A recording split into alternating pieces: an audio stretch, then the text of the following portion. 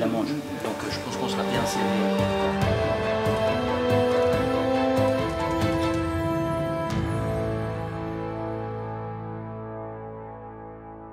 Là, euh, ce qui est très chouette et ce que Arnaud a mis en place euh, avec Marion quand ils ont créé la série sur la première saison, c'est que voilà, il y a une, volonté euh, narrative euh, qui, leur est propre. Alors moi, je me suis inscrit à l'intérieur de ça avec ma manière de réaliser. Il y a forcément, on est très différent avec Arnaud, et en même temps, il y a une vraie cohésion, je pense, une vraie cohérence euh, dans les huit épisodes. C'est-à-dire que les quatre premiers réalisés par Arnaud et les quatre miens sont forcément pour les gens qui vont regarder la réalisation pure, vont voir que c'est pas fait pareil. Donc il s'est posé la question du réalisateur, on a, beaucoup réfléchi, et puis très vite, euh, euh, c'est devenu une évidence. Quoi. Donc euh, Clovis avait déjà réalisé son film, il avait l'ADN de la série en lui, tellement qu'il l'incarne à travers son personnage.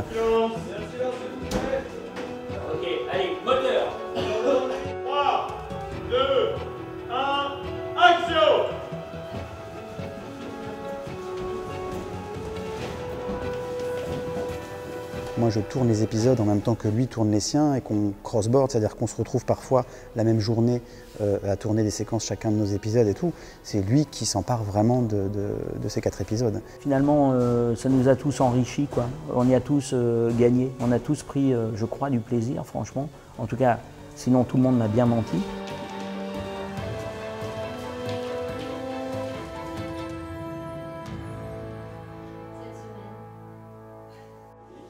Alors là, on est dans le studio de Brie-sur-Marne où on tourne les intérieurs de la cuisine du Paris, qui est le restaurant euh, emblématique que le chef a monté. C'est son lieu de vie et qu'il ne vit bien qu'à l'in- qu'à l'intérieur de ça. Et Delphine va l'aider à reconquérir ce lieu et en faire quelque chose. Bah, je crois que dans les enjeux, on passe, euh, en tout cas dans- du point de vue du- du- d'un des personnages principaux euh, de, de Romain, euh, à un stade supérieur qui se retrouve finalement dans les problématiques euh, du chef, donc de son père, et de savoir comment lui va, gérer ça. Et il a évolué euh, assez vite en flèche et il s'est retrouvé, à la direction du, du Paris. Il est simplement au début, en fait, au, début des vraies responsabilités. C'est plus grand que nature ce qui lui arrive à ce personnage. Et donc son évolution, elle va, elle va avec ça en fait. C'est-à-dire qu'il va se dédier complètement à ce qu'il fait. Il va être complètement euh, happé et mangé par, euh, par cette passion. Il a une envie de, euh, de changer, mais il est toujours un peu rattrapé et il a toujours euh, cette noirceur dont on parlait qui lui colle à la peau. Donc il, s'en débarrasse parfois, il arrive à s'en débarrasser, mais, mais ça revient. Ça, ça, c'est- on se débarrasse pas vraiment de ses démons, je crois. Là, tu masques J'ai pas fait le stage.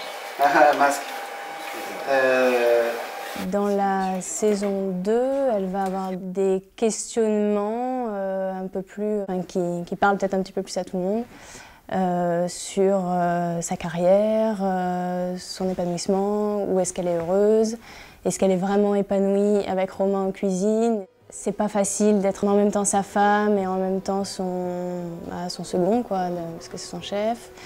Euh, elle va avoir une opportunité, donc surtout dans le milieu professionnel, elle va se poser des questions quoi, sur euh, le chemin qu'elle a à faire. Côté cœur aussi, il y a beaucoup de choses qui vont se bousculer, mais qui sont liées à son cheminement euh, personnel. C'est un personnage qui va grandir, qui va évoluer en tant que femme.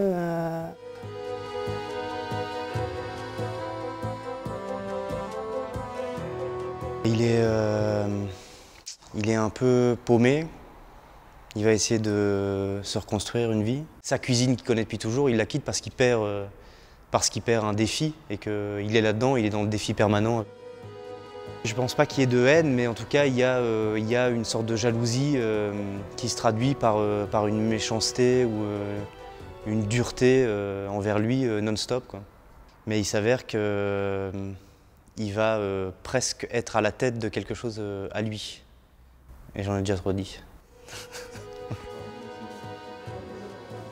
Il est obsessionnel, il est colérique, il est ouais, orgueilleux. Enfin, il a, beaucoup, il a pas mal de défauts, en fait, mais qui, le rendent charmant. Enfin, charmant pas au sens mignon, ça devient sexy, quoi, en fait.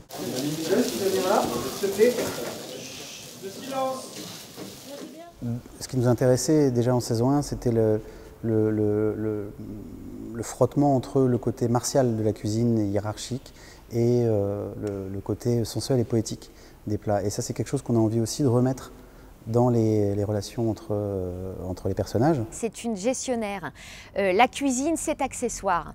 Et c'est ce, que le- c'est- c'est ce à quoi l'initie le chef. C'est-à-dire qu'en même temps qu'il initie au goût, il initie à la sensualité, il l'ouvre aussi à sa féminité et à sa sensualité. Cette rencontre amoureuse euh, va lui faire comprendre, euh, euh, c'est-à-dire qu'à travers sa cuisine, il ouvre ses sens à elle. Un homme qui fait la cuisine pour une femme qu'il aime, c'est sensuel.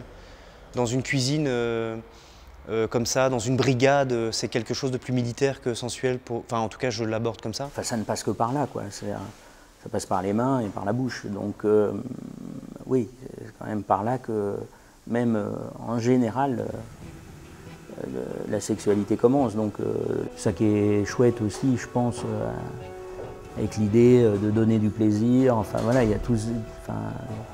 On pourrait faire des bouquins entiers là-dessus, je pense, avec des images.